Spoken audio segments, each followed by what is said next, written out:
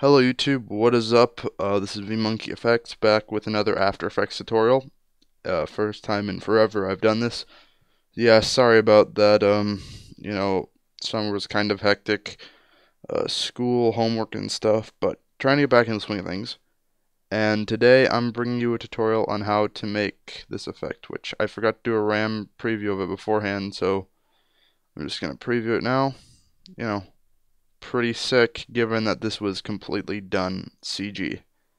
No actual footage except for still pictures. So, you know, that's pretty cool. No animated clouds, nothing like that. It's all legit PC. So I'm going to go ahead and to do this I'm going to create a new composition. And we're going to go ahead and make a new solid. It really doesn't matter what color it is. And over in your effects and presets panel, may take a while to load type in the word ramp and then drag that onto your solid. Now for the, we want it to look sort of like a sky and right now we're just making sort of a, basic background. And in order to make this look really good, you have to have a basic understanding of how cloud layering works in the atmosphere and how, you know, you got your cumulus over here and you got your cirrus running through the top of the sky but I didn't add cirrus for this one. I just have cumulative clouds, like the puffy ones, because um, our camera, when it pans, it doesn't really go over the line where you would see cirrus clouds. Maybe a little, but it's only a few frames, so I figured, you know, we don't need to add cirrus clouds.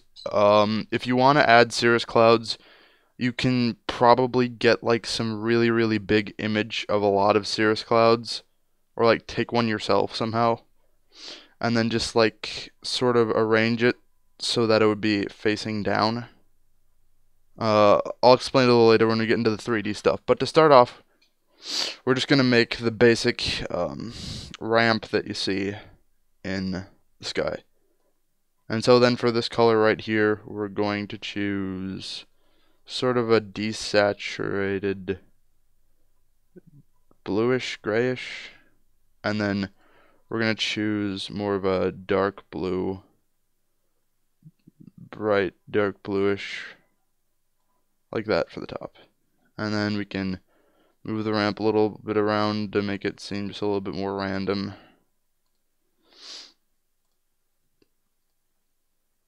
And I think that's looking okay. So we have our ramp, and now we're going to go ahead and get I'll be posting the project for this along with the uh, stock footage. And we're going to get a picture of either the jet underscore side .jpeg or the jet rear. I'm going to be using the jet rear because it's a little bit more easy to animate. And as you can see, it's a pretty high definition picture. Um, it's pretty high quality. You know, not the best, but it's pretty good. Especially since uh, I didn't have to pay for it. Um, next thing you're going to want to get is open up a mask, just a basic mask, and then feather. Like, I have a lot of different masks for this one. Um, I'm not going to go ahead and do the individual masking because that's going to take forever. But um, once you get done masking it, feather it by two pixels. Alright, so that that's probably going to take you a good 10 to 20 minutes to mask out the plane. But um, it's a pretty decent effect. So anyway, I let's see, do I already have I'm going to delete this and then I'm going to drag in our jet underscore rear composition. And as you can see, yeah, it it's a jet that's very terribly masked. But given that it will be in a similar background that it is in this picture, I don't know if you can see that. We don't really need to do such an amazing job of masking it because we're also going to be adding some motion blur and you're not going to be able to see these harsh outlines. So I'm going to delete that for now, but we will be needing that later. And you're going to go ahead and import clouds of your choice. I thought clouds 2 and 1 were the best because they had the highest resolutions and they looked better to me. So I'm going to be using those. Now you're going to notice that these are not pre-keyed clouds. I'm sorry about that. I could not find any, but uh, there's an easy fix. You just go ahead to the transfer mode and set it to screen. It may not look the best right now, but it's um, when it's all said and done, it's actually going to look pretty good. So I'm going to go ahead and just use Cloud 2 for the moment. Scale it down a bit. And to start off, we're just going to get our outline for where we're going to be placing our clouds. So I'm going to... fact, yeah, I'll use Cloud 2. What the heck. We're going to position it, uh, turn on, make it 3D, scale it up to 100%, and we're going to position it backwards.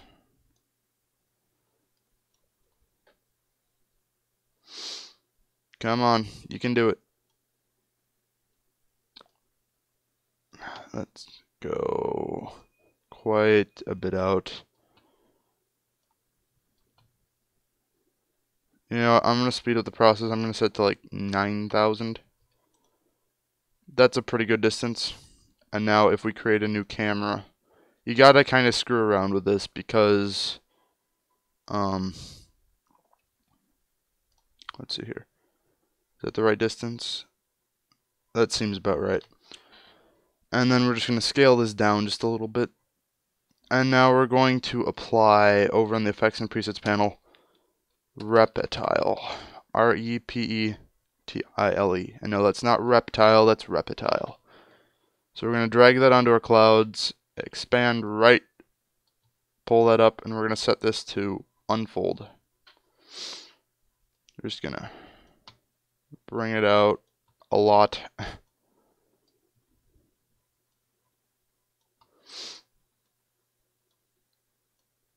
Uh, I'll set this to like 8,000. And then expand left, we'll set that to like 8,002. And that looks pretty good. Now, we have these harsh edges here. So what we're going to do is we're going to take the rectangle tool. And we're going to mask something like this.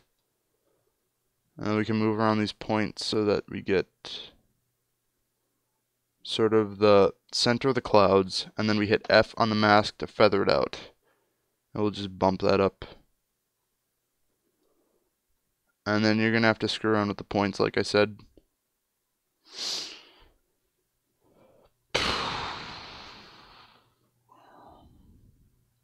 And then we wait for it to load.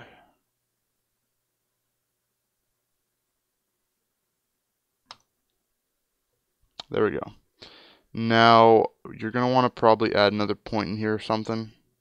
And then we can just... Whoa, this is some laggy. This is some lag. Selecting your mask, you're going to want to add another point. There we go. That's what I wanted. And make it look a little bit something like that. To the point where it's sort of feathered out, but we can still make out some of the detail and I'm thinking that's pretty good. We're going to duplicate that, and then we're going to bring that in a bit. In, not out, in. There we go. And maybe move that down. So we get just like a basic starting point for these clouds. And yeah, guys, this is going to be very slow. It's, um unless you have like a godly PC, this is probably going to be a pretty laggy development because After Effects isn't made to take on any of this 3D stuff really. It's made for more uh, just 3D intros and things. So I think I'll just bring that in a little bit more like that.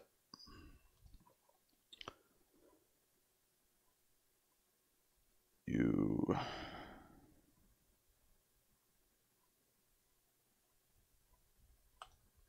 Let's go. There we go. And that's looking pretty good to me for my standards. So we have a basic 3D environment. Now, I'm going to drag in another one of these. I think I'll go with a Cloud 2 this time. And we'll set that to screen. Make another 3D layer. Rotate it, actually.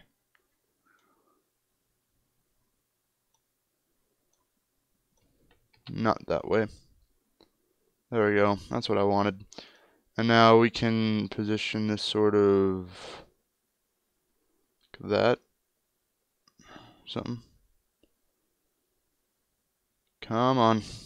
You can do it. You know what? I'm going to uh turn my resolution down from full to like third so that I can get a little bit better. Yeah, that's better. That's a lot better. Oh my god. Okay, so I'm going to just screw around with some of the settings, rotate it a bit. Um, if you get one of these harsh edges, don't be afraid to go in there with the mask again. And that's not what I meant. And we'll go ahead and feather that out again. So yeah, all in all, it's pretty simple. You're just going to layer out your clouds like this. I'm going to go ahead and pause the recording for a little bit. But um, when I come back, we're actually going to be working on animating the camera and the plane. Alright guys, I'm back. As you can see, this is not uh this is not the same project. I kind of went in and cheated. I went to my old project because I found it a bit difficult and time consuming to do it again. But um yeah, you guys, you just got to spend some time doing it.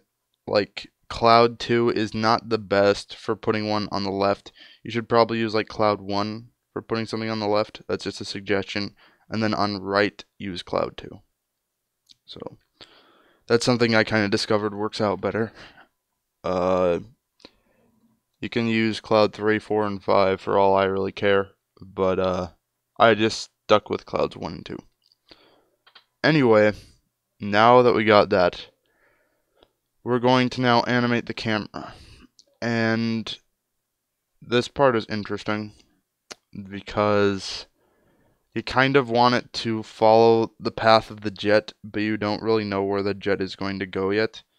So, um, you just gotta kind of wing it on this part. So make keyframe for the position on your camera, which you might want to create a camera. Just saying, if you're going to be animating the position, you might want to make a camera. And then you're going to bring the camera forward. As you can see, we get this really cool sort of parallax the clouds. And probably move the camera sort of pointing. You're gonna work? There we go. Port, yeah, pointing forward instead of down. Come on, let's go. There we go. That's nice and fluid.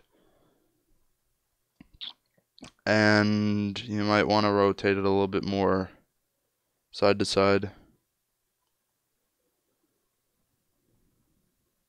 Maybe not. That's looking pretty good to me. Nice and fluid. Come on, you can do it. Okay, so now we're going to import our... That's pretty much it for the camera. It's going to be nice and short, just like half a second. And we're going to import our jet rear composition that we made into a mask earlier which I'll just go ahead and delete that. Go ahead and import that. And let's let's make this 3D layer. Rotate it a little bit so that it's facing the camera. Something like that. And then we'll drag the position back just a little bit. Hit P for position.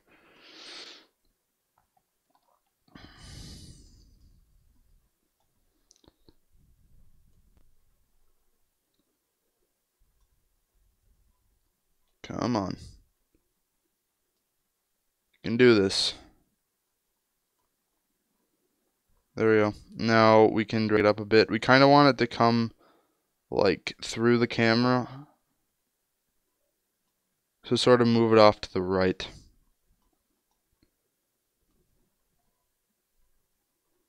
Something like this. I'm sorry guys, this is just taking forever for my computer to work because it's running with Cam Studio and Audacity, so it's kind of slow moving. Alright, we're going to call that good. I'm not getting very good FPS at all with this. Come on, you can do this. That's right. And to start off, let's make the starter position sort of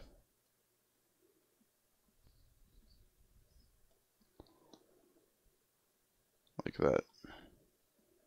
And then we'll make a keyframe and over the course of that half a second, just drag it forward like all the way. Then you might try rotating it a bit for more realism. Come on, let's go.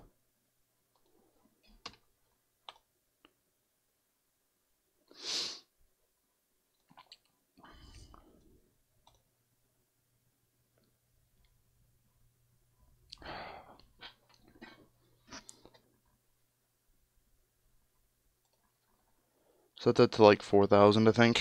That should be decent. And then we'll move this over, like...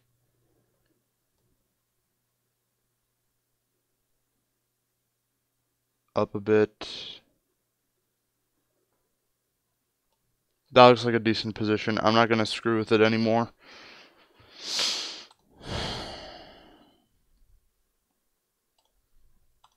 Except I might actually rotate it just a little bit. I didn't do that before, but I think I might try that now.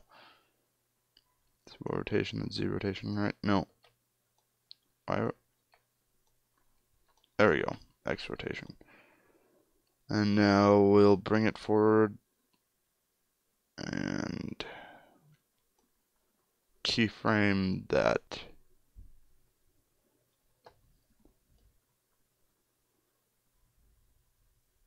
So it looks like it's turning just a little bit. And last but not least, we're going to go ahead and enable motion blur. And this is the part where it actually gets to lag because it wasn't lagging before for me, so I have no idea what happened.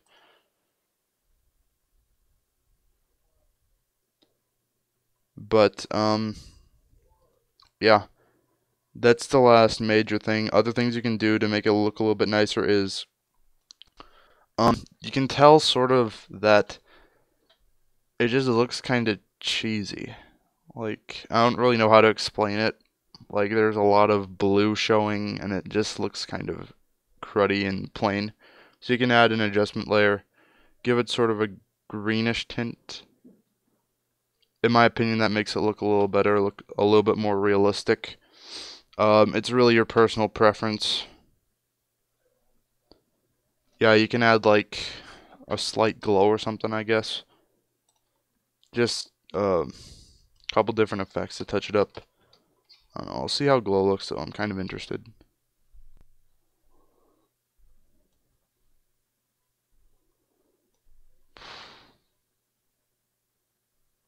Bad idea. I'm gonna undo that.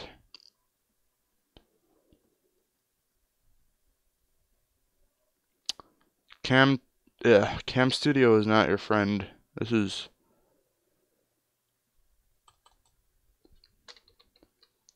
I think that's looking pretty good. So anyway, yeah, guys, then you, you can like screw around with the adjustment layer, uh, add a mask to it, subtract the mask, feather it out, screw around with that kind of stuff. But um, another thing I should probably talk about is that getting the right footage for your plane because you don't want a plane that's sitting on the ground for your footage. Because notice on this plane how it's sort of lit all around just a little bit less so on the bottom. But with a plane that's sitting on the ground like with this one it's really heavily shaded on the bottom and it's not letting me see. Because my resolution sucks So yeah, as you can tell, it's really heavily shaded on the bottom, and you got the landing gear that you got to work with and get out of the picture. So I would suggest trying to find some stock footage of a plane that's actually in the sky, because then you got this weird lighting off the ground, like up by the nose, you can see that, and just the shadowing, and it just looks completely derpy for being put in the sky. So uh, that's the last thing I'm gonna really say about this is make sure that you get some footage of it in the sky. That's pretty important. But uh, other than that, I think I'm gonna wrap it up. Uh, next tutorial, I might be continuing this depending on the kind of uh, likes and comments that I get on this video. I might be doing one where the plane like crashes into a building or something. But I feel kind of like a dick doing that because it's September and, you know, September 11th. I might just do that some other time, actually, now that I think about it. But um, I'm thinking about it. I'm thinking about it. Anyway, I uh, hope you guys enjoyed the tutorial, uh, found it helpful. If you liked it, please give me a comment, uh, like the video, subscribe to the channel. You know the drill. But, yeah, thanks for watching the video, guys, and I'll see you next time.